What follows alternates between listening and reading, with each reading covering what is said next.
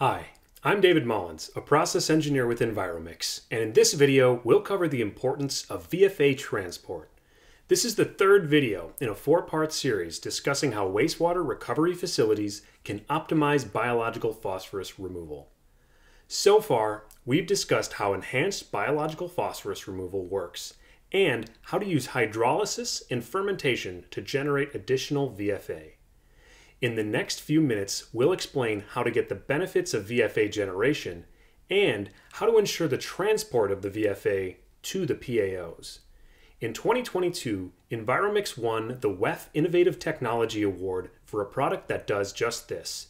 It's called Biomix DC Enhanced Anaerobic Mixing System and applies a unique mixing approach to maximize fermentation. As we discussed in the last video, facilities can create a fermentation blanket in their anaerobic process by mixing intermittently. But what we didn't discuss are any of the details about the mixing strategy. For example, how should a facility cycle mixing on and off? And is there a way to mix that maximizes the fermentation without sacrificing the EBPR? This is where Biomix DC comes in. Biomix DC transforms a traditional anaerobic selector into an intensified fermentation tank. The system operates by alternating a short mixing cycle with a long non-mixed cycle.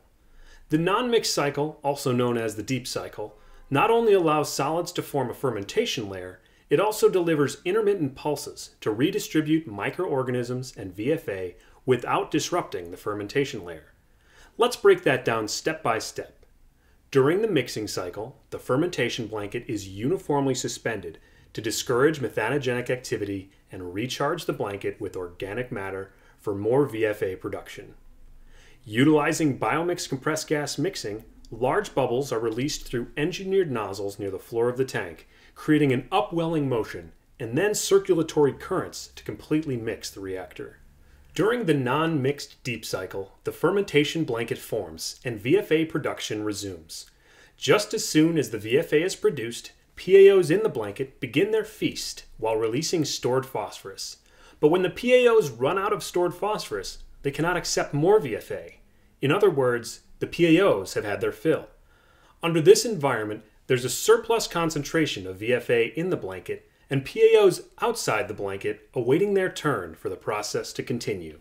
Transporting VFA from the blanket to the PAOs in the upper layers is accomplished through short, gentle pulses of compressed gas.